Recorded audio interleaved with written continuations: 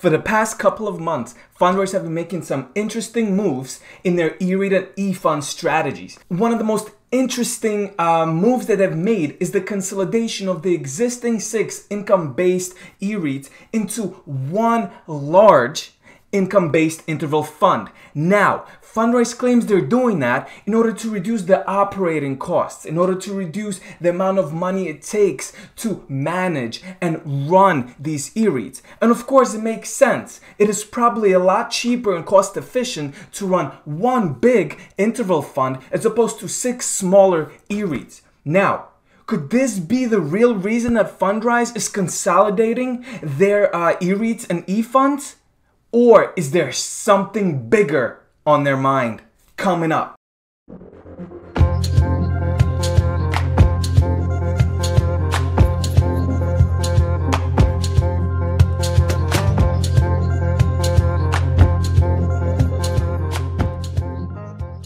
If you're new to the channel, my name is Trey, and I have over $545,000 invested in stocks, real estate, and crypto.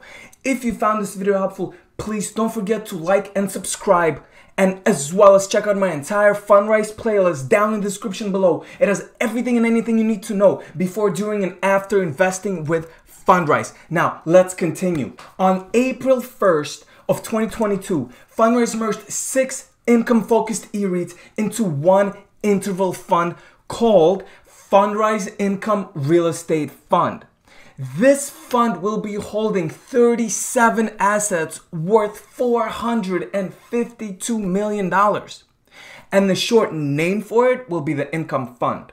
Due to this change, the good old interval fund, yes, the one that gave all of us at least 46% return in 2021, will change its name to Flagship Fund. Now guys, make sure you watch this entire video because I have a crazy, crazy opinion of why Fundrise is doing it. But before I let you know what it is that they're actually trying to do, I want to go over this merger. Now, because Fundrise are merging six e-REITs into one, prior to the merger, Fundrise updated the net asset value per share of each fund involved using an independent appraisal firm. So what you had before is you had six E-REITs and each of these E-REITs had a certain price per share. Well, when combining six into one, they need to come up with a new price per share for that one interval fund. So this allowed for each investor to receive a correct ownership percentage of the newly merged fund. Now, let's take a look at the picture here. So what this does, what this picture shows, that actually shows the price per share on January 1st of 2022 and the new appraisal that was done on March 31st of 2022. As you could see, the values haven't changed dramatically. So the value of your shares of these E-REITs and if this one single new income interval fund will likely not change significantly. Now guys, Fundrise claims that they're doing this merger because they want to bring down the uh, costs of running these e-REITs, these e-funds, the operational costs, uh, the, the, you know the number of fund managers they gotta pay to run all these e-REITs. However, um, and I do think that this is part of the reasoning for doing this. However, I think the bigger, I think the much bigger reason they're doing this, they're consolidating because they're getting ready to go public. So I think what will happen in the near future is that Fundrise will keep consolidating uh, their e-REITs. The first thing they did is that they consolidated their income-based e-REITs. The next thing they're gonna do is they're gonna consolidate their balanced portfolio um, e-REITs. And then they're gonna consolidate their long-term growth plus e-REITs. So I think right before Fundrise will be going public, what is gonna happen is that we're gonna have five or six um, different e e-REITs and e-funds and that would be it. It does reduce the costs of running these e-REITs and e-funds, giving more profits to us, the investors, but it also makes them look like a strong company. So what does that mean? If you are a current Fundrise IPO holder, you should be super excited about this because we are getting closer to the day that Fundrise goes public. This is a direct move in consolidating their assets in order to be taken seriously by Wall Street. And this is an amazing thing. I'm super happy about it. Now, guys, if you have no idea what I'm talking about, what is Fundrise IPO? Well, Fundrise IPO is something called Internet Public Offering. As some of you may know, Fundrise is a private company. However, they do um, sell shares to the people, to the investors, um, to the people who are currently investing with Fundrise. You get these uh, personalized offers uh, once every year or two years to buy shares of Fundrise as a company, not the E-REIT E fund, um, you know, that they're managing, but Fundrise as a company. And what a lot of us, including myself, and I have over $15,000 in Fundrise IPO, what we're hoping for is that when Fundrise does go public, we will make a lot of money. We're talking 3x, 4x, 5x um, on our investment. So guys, if you if if this just got you excited and you're new to Fundrise, first what you gotta do is you open you gotta open a fundrise account i will leave I, I, will leave my referral link down in the description below and if you open the account with that referral link you will get $50 bonus into your account deposited right away um, as, as long as you uh, put $10 uh, into that account. The next thing you got to do is you got to be patient. You got to wait about six months and then you will get a personalized offer from Fundrise to purchase IPO shares. Now, I have a couple of videos about Fundrise IPO. Check them out in the Fundrise playlist link down in the description below. Now let's continue. Now that you know what I really think this move is all about, let's go into some details um, uh, about what uh, changes uh, me and you will see uh, with this new merger.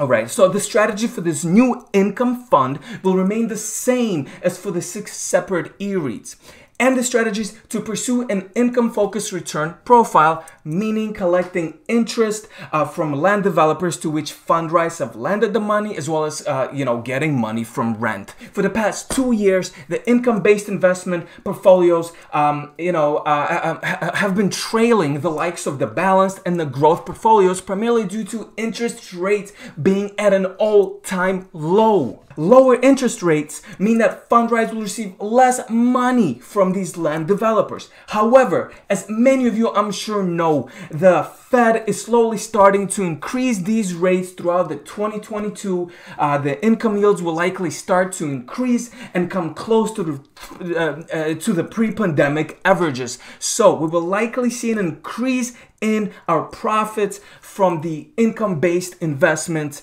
and it will become closer to those profits from the balanced and the long term growth plus or long term growth portfolios. It is true that during uncertain, volatile times like we're experiencing today, it is very hard for Fundrise to deploy capital into projects with complete confidence. And why is that? Well, what if we're at the top of the real estate market? The real estate have completely like blew it out of the water in the past year and a half. The prices of the houses have gone up. The prices of materials have gone up. The prices of metals have gone up. it, it is so hard to invest when things have gone up like 40, 50% in like 18 months. So I'm hesitant as well in investing not only in, in real estate, but the stock market as well.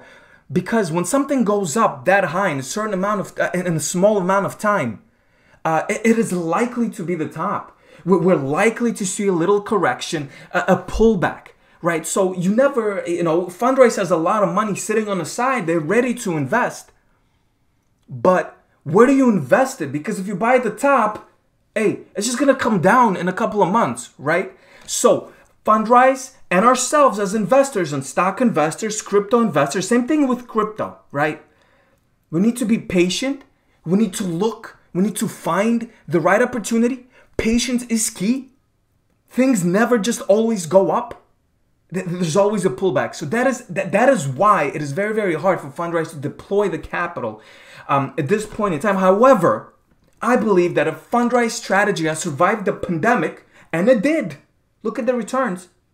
I believe that Fundrise can survive through today as well. And what I mean by today, I mean the pandemic is, is, is probably uh, almost over right? But there's still residual effects from the pandemic, and of course, we have the war in Ukraine. Another thing that I also believe is that Fundrise will also begin taking uh, a bit more risk with their lending. So here's what Fundrise stated in this article, and I quote: "In some cases, this may mean things like, uh, um, and in some cases, this may mean things like lending to borrowers who are executing on residential value add strategies." So private house uh, developers or just contractors who buy an old broken down house and then they build it up.